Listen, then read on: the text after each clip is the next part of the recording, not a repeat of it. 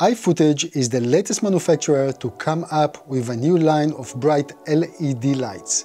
Curious to find out more? Let's take a closer look at what these fixtures have to offer.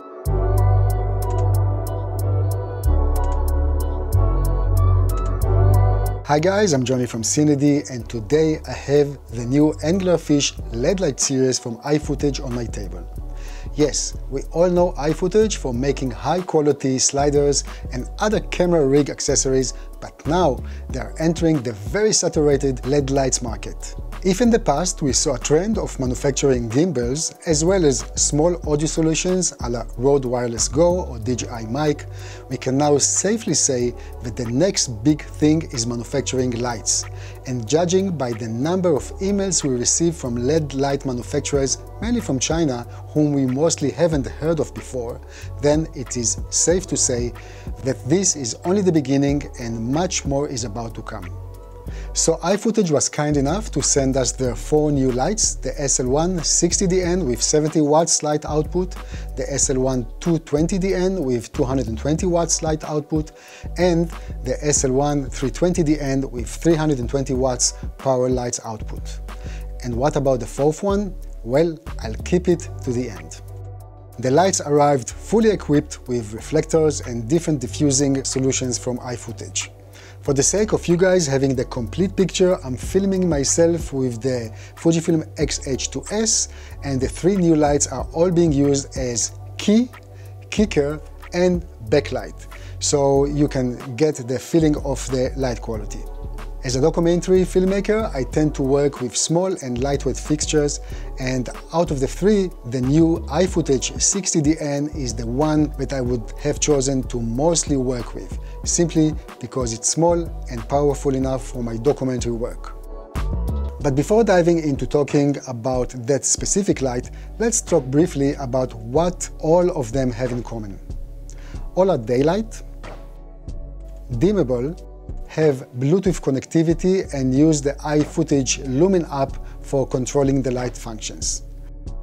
But maybe the most important thing is how iFootage decided to build the heart of their lights and I'm talking about the COB. As you might know, most if not all of those modern LED lights are based on having a single chip on board LED technology, meaning they have a higher LED packing density and improved lumen density. Simply put, stronger, brighter lights. Now, a company that is creating lights can choose between buying an off-the-shelf COB or designing their own, which is of course a more expensive and time and resources consuming task.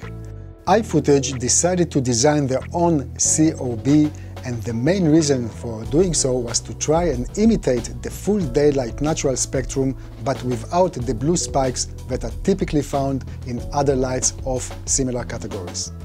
There are two main reasons for iFootage to aim for better controlling the blue light channel.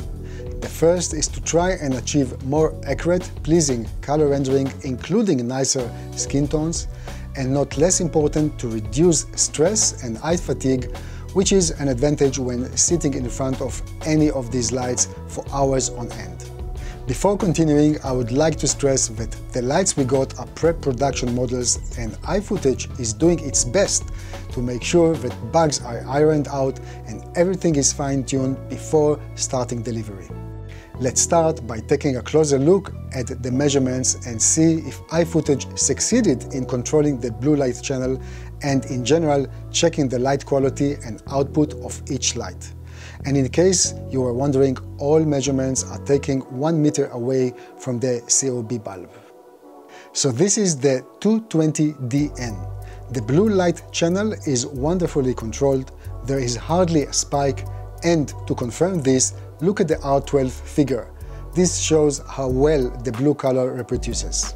Luminance is really good for this category at 8778 lux and as expected with a 60 degree reflector we are at 43941 lux output. CRI and TLCI are excellent with 98 and 98.5 ratings respectively. The daylight color temperature with the reflector attached is 5331 Kelvin, a tiny bit low but still within the range of the daylight spectrum. For the 320DN, we measured the following. Again, the blue channel is nicely controlled, no real spike here, and the R12 measurement show nice blue color reproduction. Luminance is at 12,265 lux, and with the 60 degrees reflector attached, we are at 50,725 lux. Also with this light, CRI and TLCI are excellent with 98 and 98.8 ratings respectively. We measured the daylight color temperature with the reflector attached at 5207 Kelvin, a tiny bit low, but still within the range of daylight spectrum. Now let's talk about the 60DN. As I mentioned before, this is the kind of light that I would use for my run and gun documentary work, so I was especially curious to see the results. As you can see, the blue light channel is also nicely controlled with no spike at all and the R12 figure shows a nice blue reproduction. Just for comparison, here are the measurements of the Godox ML60 that I've been using up until recently. You can easily see the blue channel spike and how the R12 shows inferior blue color reproduction. Luminance without the reflector stands at 2723 lux and with the 55 degree reflector attached we are at 10734 lux. CRI and TLCI are excellent with 98 and 99 ratings respectively. Daylight color temperature is a bit low in our testing as we measured 5121 Kelvin only. Both the 220DN and the 320DN have an external ballast. They look similar, but the connector to the light itself is different. Talking about the ballast, one should know it's relatively heavy and the rounded main dial is tough to operate. Sometimes two fingers are needed to turn the wheel. The power button has two functions. Long press will turn the lights completely off, while short press will bring the light to a standby mode, meaning the LED turns off, but the unit is still on. This mode is great for changing light attachments like softbox, dome, etc. Another short press on the power button and the light comes back, maintaining the last settings. The 60DN is more flexible to work with and just like other lights in its category, it has no ballast and the two knobs at the back are for controlling it. Talking about those knobs, I have to say that I find these buttons a bit flimsy to use and on top, not always precise. A good example is when navigating the menu. Often you can find yourself turning the dial a few times in order to get to the desired settings. The 60DN is very small and at 760 grams might be one of the lightweights of its category. It comes with a pistol-style hand grip which is nice for attaching the light to a stand or helping with handheld work. When it comes to powering the light, a V-mount battery can be attached to the hand grip itself and in case that you don't use a V-mount batteries, a suitable USB-C power bank can also be connected. One issue that I found when attaching the grip to a light stand, if the light stand has a tightening knob on top, the grip with the battery plate interferes with the knob and blocks it from rotating.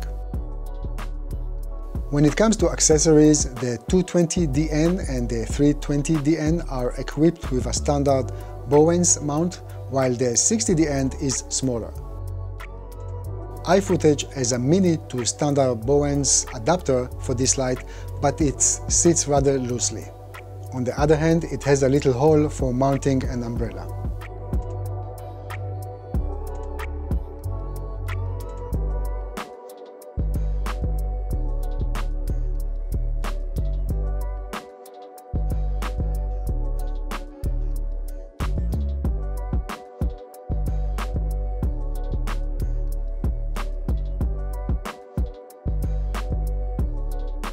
Florian, my colleague who helped me with executing this review and I were both impressed with the quality of the accessories that iFootage created for this series of lights, especially the light domes.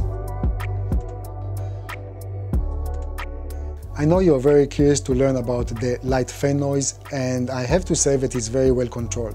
It has no high pitch that is associated at times with fan noise. So it's very easy to remove in post-production in case you can spot it. The iFootage Lumin app is for iOS and Android phones. We tried it on an iPhone and it connected nicely to any of the lights. Usage is very straightforward. You can control the light strength, activate any of the eight lighting effects, and animate intensity when sound comes out of your phone. Remember the fourth light that I was mentioning before? Well, Anglerfish series also include a pocket light, the HL C4 RGBW. Where is it? This one. It has a magnetic removable diffuser and a magnetic back plate. The light is available in four colors. It can be operated via the onboard controls or via Bluetooth using the iFootage Lumin app which offers the same functionality and control but doubles the number of special effects. Battery runtime is up to 2 hours and this can be further extended using a USB-C power bank. For me, this is the throw in the bag light, one that can save the day in case of an emergency. Let's talk about pricing and availability.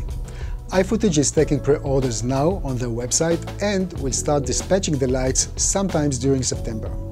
When it comes to pricing, the 60DN will set you back $189, the 220DN for $429, the 320DN can be yours for $649, and the HL1 C4 RGBW can be purchased for $49. Conclusion I have a lot of respect for iFootage jumping into cold water with a series of new lights.